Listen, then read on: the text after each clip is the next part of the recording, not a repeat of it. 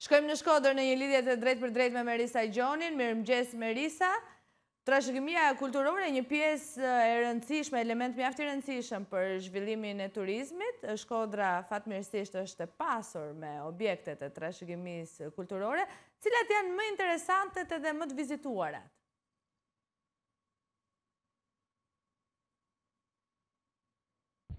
Mirëmëngjes nga Shkodra, siç edhe ju e theksuat, në fakt Shkodra është një thesar, sa i takon pjesës së monumenteve kulturore dhe siteve arkeologike. Patjetër që në pjesën më të rëndësishme të atraksionit turistik dhe si më e vizitueshmja vijon që të mbajë rekordin Kalaja e Rozafës, e cila vetëm në tre muajt e parë të këtij viti ka pritur mbi pesëdhjetë mijë vizitorë, ndërkohë që pritet që përgjatë gjithë vitit ky numër të jetë disa herë më i lartë, duke qenë se në vitin e shkuar Kalaja e Rozafës priti më shumë se njëqind e njëzet mijë turistë.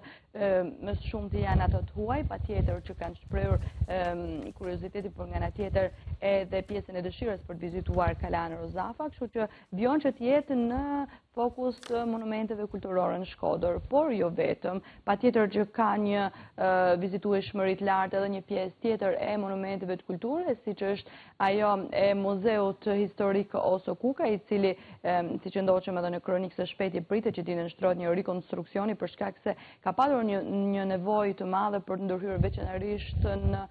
disa prej pjesëve, aty ku ruhen edhe disa prej veshjeve tradicionale, apo aty ku ndodhet edhe arkiva e këtij muzeu. Nga ana tjetër kemi edhe muzeun e Dëshmisë dhe Kujtesës, i cili tashmë prej vitesh është kthyer në një tjetër destinacion për të huajt, aty ku njihen me historinë, ku njihen patjetër me një pjesë të vuajtjes së popullit shqiptar, veçanërisht gjatë periudhës së regjimit komunist, për shkak të torturave dhe diktaturës që është ushtruar, një pjesë e tyre e demonstruar mjaft mirë në këtë muze, i cili vijon nga viti në vit që të ketë një frekuentueshmëri akoma dhe më të lartë. Përndryshe, kemi edhe monumentet e tjera, të kategorisë së parë dhe dytë të cilat po presin vizitorë, flasim këtu për urën e Drishtit, por nga ana tjetër edhe për kalanë, e cila mban të njëjtin emër, gjithashtu përgjatë dy viteve të fundit, për shkak se edhe në momentin që flasim po i nënshtrohet një restaurimi edhe Ura e Mesit, është ajo e cila po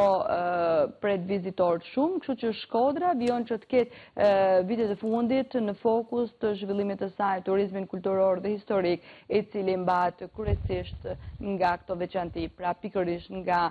muzetë, nga monumentet dhe nga sitet arkeologjike. Sigurisht që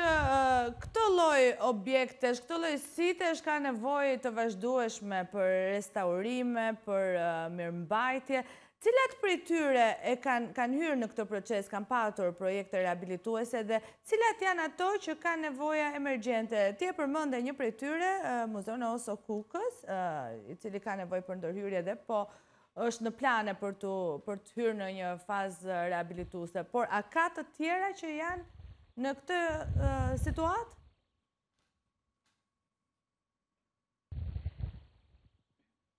Është vërtet në fakt për shkak edhe të numrit të lartë që Shkodra ka të monumenteve kulturore dhe siteve arkeologjike, por nga ana tjetër edhe të degradimit të vazhdueshëm ndër vite, ka një nevojë të madhe për të ndërhyrë në disa prej tyre. Sipas Drejtorisë Rajonale të Kulturës, në vitin 2024, pra përgjatë këtij viti, pritet që Tetë monumente kulture të jenë pjesë e ndërhyrjeve krahas shtëpisë së Pashko Vasës të cilën e ndoqëm edhe në kronikën më herët, është janë edhe disa monumente të tjera kulturore, të cilat përfshijnë jo vetëm qytetin e Shkodrës, por edhe Lezhën dhe Kukësin, duke qenë se janë pjesë të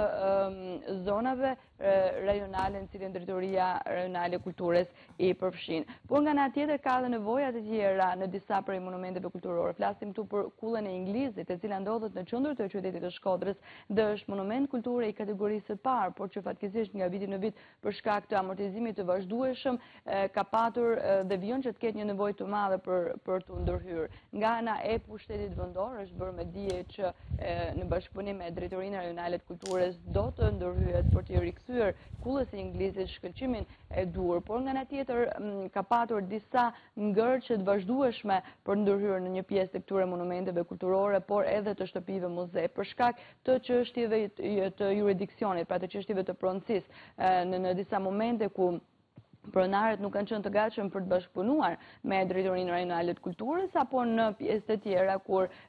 këto monumente kulture kanë më shumë se sa një pronar dhe që vijon të jetë akoma dhe më e vështirë pjesa e nënshkrimit të një marrëveshje për të bashkëpunuar. Meqë po flasim për kullën e Inglizit, ajo aktualisht ka 28 pronarë, të cilët janë bashkëpronarë, të cilët një pjesë e tyre nuk jetojnë, një pjesë tjetër kanë emigruar dhe vetëm dy prej tyre ndodhen në qytetin e Shkodrës dhe që vazhdimisht kanë kërkuar bashkëpunimin e institucioneve për të bërë të mundur ndërhyrjen në kullën e Inglizit, e cila pas viteve 1991 humbi funksionin si kullë e Inglizit dhe u kthye në një muzeum të qytetit dhe që aktualisht vijon që të jetë në një gjendje të jetë degraduar, por që kërkon vëmendjen e institucioneve për të ndërhyrë. Po ashtu kemi edhe disa shtëpi të tjera muze siç është ajo e Loro Boriçit, të cilat kërkojnë ndërhyrje emergjente. Po ashtu zona muzeale e Gjuadolit me shtëpitë karakteristike të cilat ndodhen, të cilat kanë statusin e monumentit të kulturës, por që janë të kategorisë së dytë dhe që kanë një nevojë të madhe për të ndërhyrë për shkak të amortizimit të vazhdueshëm, por nga ana tjetër të një rëndësie të veçantë, jo vetëm për shkak se janë monumente kulture të kategorisë së dytë, por edhe për veçantinë që zona muzeale e Gjuadolit ka dhe le të themi ballafaqimin e vazhdueshëm që ka me turistë të shumtë të cilët e frekuentojnë këtë zonë, veçanërisht përgjatë mbrëmjes, por edhe pjesës tjetër ditës. Kështu që janë të shumta edhe monumentet e kulturës, edhe shtëpitë muze, edhe shtëpitë karakteristike, të cilat kanë nevojë për ndërhyrje. Megjithatë, siç thashë, drejtoria rajonale e kulturës ka bërë me dije që një pjesë e tyre do të ketë disa ndërhyrje të pjesshme, ndërsa në një pjesë tjetër Po vijon që të kërkohet një bashkëpunim mes pronarëve të këtyre shtëpive karakteristike dhe këtyre siteve arkeologjike në mënyrë që edhe në vitet vijuese të ketë një ndërhyrje dhe restaurim ashtu siç në fakt edhe kjo zonë dhe këto monumente e meritojnë. Marisa, edhe partnerët ndërkombëtarë shpesh janë të ndjeshëm edhe i kushtojnë vëmendje trashëgimisë kulturore. A ka projekte apo nisma ku është kërkuar mbështetje nga organizmat ndërkombëtarë përtej institucioneve shtetërore?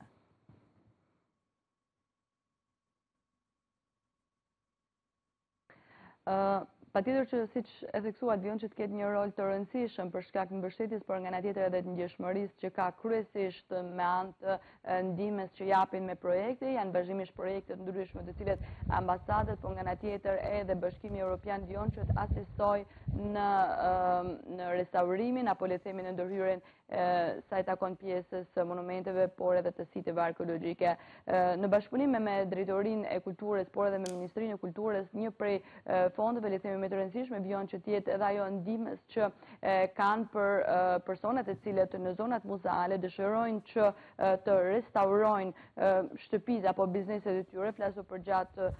zonës së pedonales, por nga ana tjetër edhe të zonës muzeale të Gjuadolit, të cilët në vitin e shkuar 8 prej tyre kanë përfituar duke bërë të mundur edhe restaurimin duke ruajtur patjetër origjinalitetin dhe le të themi atë pamjen karakteristike që këto ndërtesa kanë, por nga ana tjetër duke u bërë mundur edhe kalimin një tjetër gjendje pra në atë të, të restaurimit. Kështu që faktorët e jashtëm dhe patjetër projektet e vazhdueshëm nga ana e Bashkimit Evropian kanë qenë një ndihmesë e madhe për drejtorinë rajonale të kulturës, por nga ana tjetër edhe për pushtetin vendor, i cili në në disa prej tyre ka ndërhyrë. Një ndër këto projekte të cilat mund të përmendim, sigurisht që është Xhamia e Plumbit, e cila në bashkëpunim edhe me me shtetin turk, pra me qeverinë turke, ka patur një ndërhyrje dhe që pritet që në vjeshtën e këtij viti të jetë e frekuentueshme për vizitorët të cilët duan që tashmë të shojnë një Xhami Plumbi